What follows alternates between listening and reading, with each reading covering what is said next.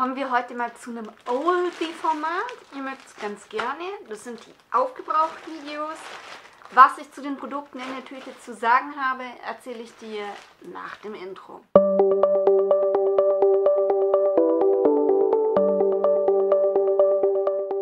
Hallo, ich bin Coco vom Kanal Die kleine Coco. Heute gibt es das allerletzte Aufgebraucht-Video in diesem Jahr. Fühlt sich mega komisch an, aber das Jahr ist vorbei. Und dass 2020 irgendwie ein besonderes Jahr war, muss ich dir nicht sagen wahrscheinlich. Ich habe hier nicht ganz so viel drin, aber ich handhabe das immer zum Jahreswechsel so, dass ich die Sachen einfach loswerden möchte. Ne? Also nichts in das neue Jahr mit reinschleppen möchte. Ich finde, das ist immer so ein bisschen ein schlechtes Omen. Also es sind nur ein paar Sachen. Das ist nicht ein allzu zu langes Video, wenn ich nicht ins Schwafeln komme. Mein äh, Standardwaschmittel von Frosch, Fein- und Waschlotion die verwende ich grundsätzlich immer, weil ich zum einen das zur, zur Handwäsche nutze, aber auch für meine üb, üb, übliche Wäsche. Damit komme ich richtig gut klar. Vor allem, weil das halt schon bei 20 Grad wäscht. Das ist richtig gut. Ich habe Handwäsche, weil ich eben Kompressionsstrümpfe trage und die solltest du halt eben bei der Handwäsche machen. Und dann habe ich halt auch noch einzelne Kleidungsstücke, die du eben auch mit Handwäsche machen musst. Und da ist Frosch einfach eine sehr gute Bank. Äh, auch die anderen Sachen von Frosch sind eigentlich richtig gut. Und da mag ich halt den Duft ganz gerne. Der ist halt nicht so mega aufdringlich. Nur wenn ich so richtig hartnäckige Flecken in den Klamotten habe, dann muss ich natürlich ein anderes Waschmittel nehmen.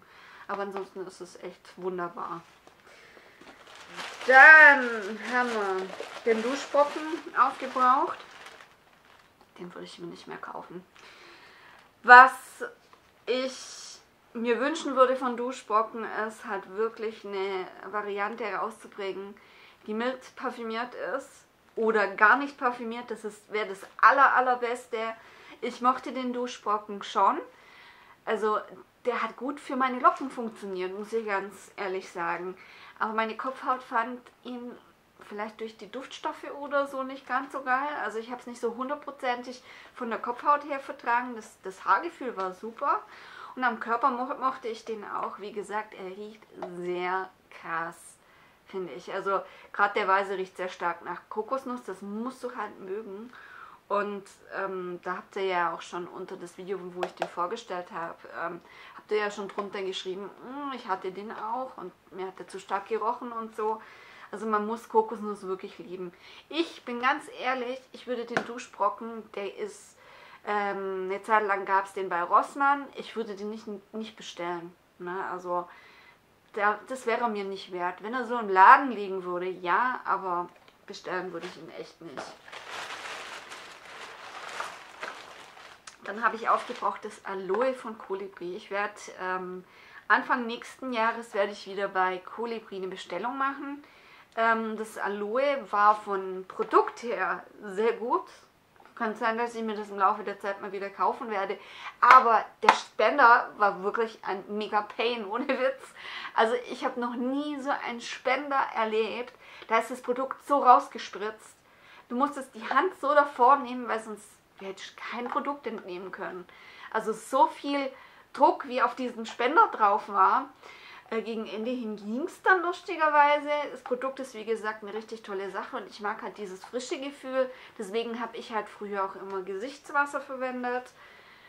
Ja, sehr gutes Produkt, kann ich empfehlen. Ich würde es mir jetzt erstmal nicht mehr kaufen, weil ich es primär erstmal nicht brauche, aber vielleicht irgendwann. Dann haben wir hier ähm, den hier, den habe ich dann auch zum Duschen platt gemacht. Das ist dieser, dieser Donut ähm, von ähm, Secret de Provence, habe ich ja auch schon mal vorgestellt. Ähm, dieses Schuppenshampoo. Und ich mache es halt immer so, wenn ich ein Shampoo nicht mehr verwende, weil ich eben doch viele Produkte teste, dann nehme ich es zum Duschen. Und zum Duschen verbrauchst du es 100 Pro. Zum Duschen mag ich den echt gar nicht, lustigerweise, weil der so komisch trocken ist und eigentlich gar nicht schäumt. In den Haaren mochte ich das schon, ähm, aber auch hier muss ich sagen, ich würde es mir nicht nochmal nachkaufen. Ne? Also es gibt so viel auf dem Markt. Überzeugt hat mir der hier nicht.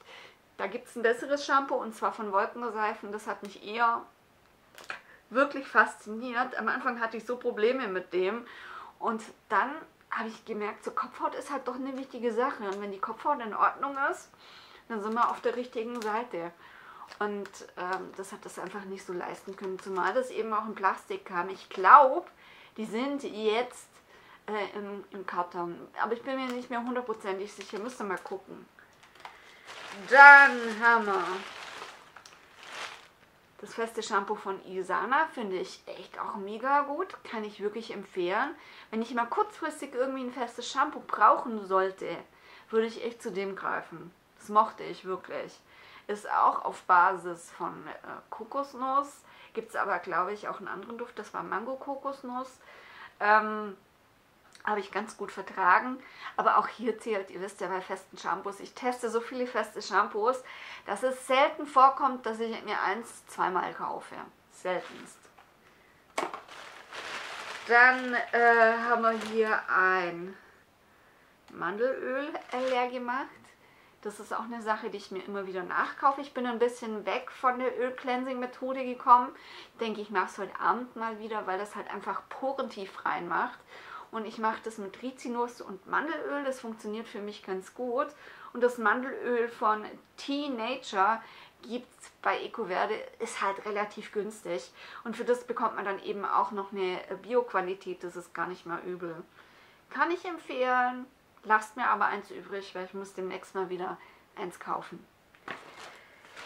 Dann habe ich leer gemacht tatsächlich das Retinol von No. Ich habe echt gedacht, ich werde mit diesem Produkt nicht fertig. Ich mochte das echt gerne, aber durch das, dass ich halt eben so viel teste, muss ich halt erstmal auch was aufbrauchen, bevor ich was Neues aufmache. Und ich bin ganz froh, dass es jetzt leer ist, muss ich sagen, weil ich halt eben auch bei Face Theory nochmal bestellen möchte. Und da würde ich gerne auch nochmal ein Serum mit äh, und bin wie gesagt froh, dass das Retinol einfach mal leer ist. Zumal von Colibris eben auch ein Retinol gibt. Ich glaube, das teste ich mal aus. Bin ich ganz neugierig. So ein Standard von mir ist die hier. Die kaufe ich mir immer wieder nach, weil die einfach gut ist. Die nehme ich zum Hände eincremen. Also ich kaufe mir generell keine Handcreme, außer fürs Arbeiten habe ich mir jetzt mal wieder eine geholt. Ähm, die legt man gleich wieder weg, nicht, dass man die Falte wegschmeißen. Ähm, ja, die ist einfach eine Bank, die funktioniert gut, ich vertrage sie gut auf der Haut, macht ein gutes Hautgefühl und sie riecht halt wirklich richtig gut. Und du bekommst das Ganze für einen kleinen Preis, das muss man auch noch dazu sagen. Weggeschmissen habe ich zwei Eyeliner, ne, zwei Kajals und einer davon ist der Sante äh, schwarze Kajal. Ich würde mir Sante nicht mehr nachkaufen. Sante, also der Konzern hinter Sante, Logokos, hat sich von L'Oreal aufkaufen lassen. Und das ist so mein, meine Regel, mein ethisches Ding, dass ich einfach keine Produkte, die irgendwie Kontakt mit Nestle oder L'Oreal haben, kaufe. Und deswegen, den schmeiße ich weg, weil ich ihn einfach nicht aufbrauchen konnte. Der war mal in äh, einer Vegan-Box drin, eine Vegan-Box Beauty. Und die habe ich jetzt, glaube ich, schon seit, was in den drei Jahren nicht mehr oder so. Und so alt ist der Kajal. Irgendwann mal, ihr tut euch wirklich einen Gefallen. Irgendwann mal sollten die Sachen weg, auch wenn sie nicht aufgebraucht sind, auch wenn einem das Herz ein bisschen blutet, dass man es wegschmeißt. Aber ihr tut eure Haut und gerade am Auge, ihr tut euch keinen Gefallen. Ne? Und das gleiche zählt auch für den hier, der ist glaube ich noch älter. Das ist ein Kajal, glaube ich, von Maybelline. Und Maybelline kaufe ich ja schon seit nicht mehr. Ne? Also das kann ich gar nicht mehr nachdenken. Ähm, irgendwann mal wird es halt echt definitiv gruselig. Und da sollte man solche Produkte einfach nicht mehr ins äh, Gesicht packen und vor allem nicht ans Auge. Wenn du nämlich irgendwie reagierst, dann ist es meistens irgendwie, also es hat dich ganz stark immer bei Pflegeprodukten oder bei Ölen.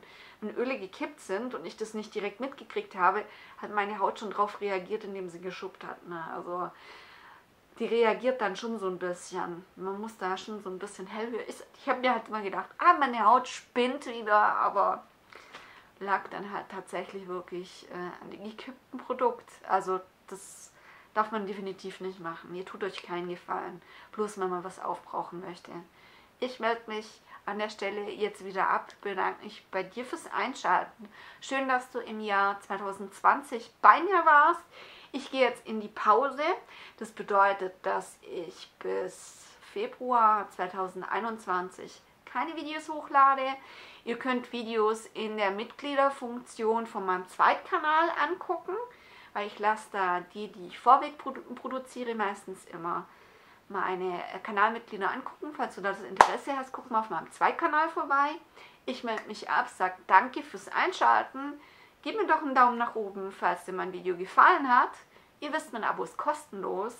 Und wir sehen uns beim nächsten Mal. Frohes neues Jahr, frohe Weihnachten. Tschüss!